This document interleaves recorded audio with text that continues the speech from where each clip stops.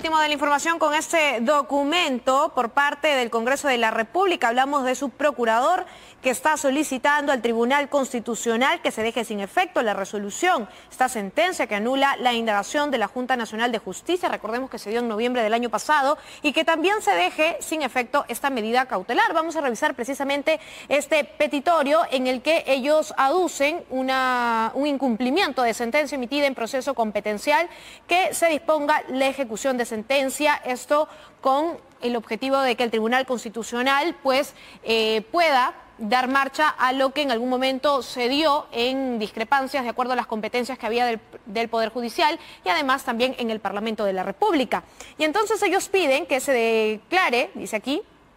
eh, sin efecto precisamente la emisión de esta sentencia y lo decidido en ella, que significa la concretización de un evidente acto de contraversión al ordenado por el Tribunal Constitucional en el pleno de sentencia 74-2023 emitido con fecha de 23 de febrero del presente año y además implica, según ellos, la vulneración del artículo 112 del nuevo Código Procesal Constitucional. En tal sentido, en defensa del principio contenido del título preliminar,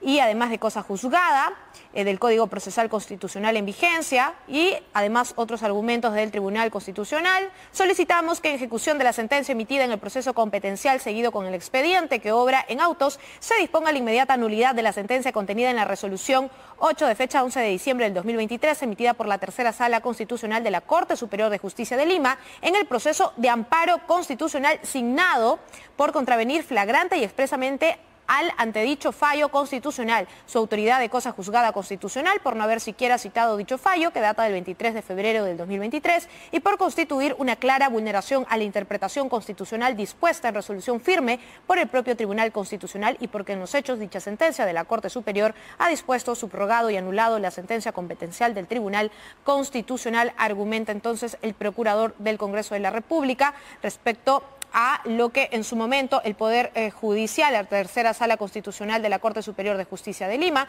resolvió a favor de la Junta Nacional de Justicia. Muy bien, con esta información nos vamos a